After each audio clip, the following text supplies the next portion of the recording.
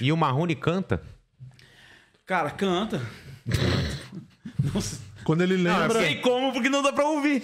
Mas ele canta, gente. bem Mas às vezes, às vezes O é- microfone desligado, mas Eu, parece, parece que esse personagem, lembra do. Não, sei- não o que é, se era o Caceta Planeta, o, o Hermes e Renato que faziam os policiais que.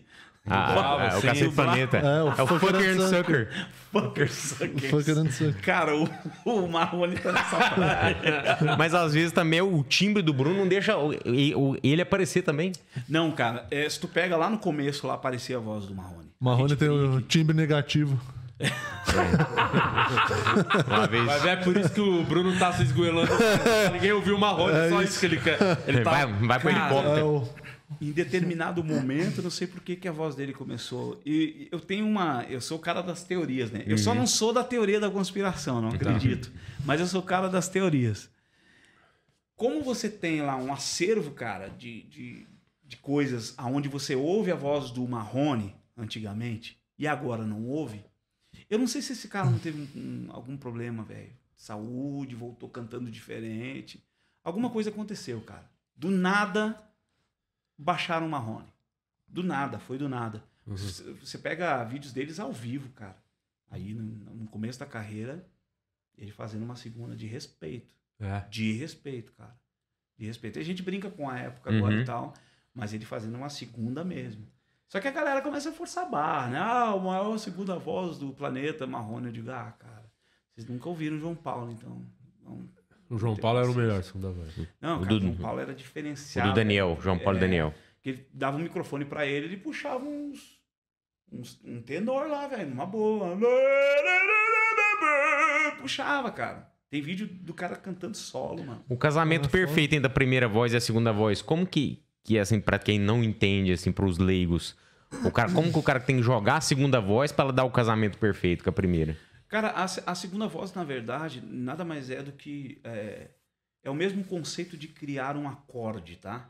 Ah, o, o cantor, ele trabalha com uma melodia.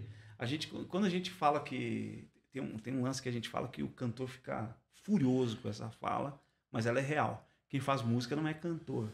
Quem faz música é músico. É o cara que constrói música porque com todos os elementos que se necessita, que é Uhum. melodia, ritmo e harmonia. O cantor ele só exerce o papel Executa. melódico, só. Uhum. E, e, e- e a melodia nem sempre é musical. Os passarinhos fazem melodias, cara. A nossa fala é uma melodia, Uhum. não é musical. Isso aqui não é música. Tanto que dependendo do idioma que você vê a pessoa falando, ou do sotaque mesmo aqui no Brasil, você fala, nossa, a pessoa fala cantando. Fala... Exatamente. Tem isso, né? É. Os, os lá falam cantando. O pessoal em Porto Alegre fala cantando pra caramba. Eu não tenho o sotaque muito carregado por causa da minha mãe, né? Que Ela não, ela- não tinha o sotaque gaúcho. Meu pai já tem mais, né? Os meus irmãos, cara, se eu abro aqui, tu vê de cara. Nego Di, né? Nego Di é bem porto-alegrense pra falar. E aí, magrão? Aquela coisa bem... Tá chegando o ar-condicionado. Vamos lá, né, pá? Aí, pai. Ó o guri. Ó os guri. Ó os guri. Aquilo ali é a, a galera do, da zona norte de, de Tem- já chegou uns cara fora o Nego Dick pra pedir lá uma ajuda pra trampar contigo que você fala, pô, isso aí não tem condições, mas eu vou fazer aqui porque Não, mas eu não falei tenta que o Nego ajudar. Di não tinha condições. Não, tô falando, eu tô falando, essa parte é por minha conta. Fora o Nego Di, eu já deduzi, entendeu? Eu já deduzi. Fora o Nego Di, teve tempo, não precisa citar nome, mas Cara. situações que você passou assim, até constrangedoras, de ver a pessoa cantar, você pensando, cara, ele é muito ruim, assim. Eu não acredito que. Cara, na- a minha experiência diz o seguinte, cara, qualquer pessoa pode cantar. É mesmo, qualquer pessoa É, pode cantar. Qualquer pessoa pode cantar. Porque, cara, a galera acaba é, divinizando muito o canto. Bicho, eu sou, eu sou cristão, né, cara? Na igreja Muita gente canta. tem Muito- um. É. Mas lá tem uma coisa que é parecido com aqui, sabia? Que é o seguinte. O aqui- demônio escondido. Aqui tem o lance de que quando o cara não canta, alguém diz assim, pô, mas o cara tem carisma. Hum.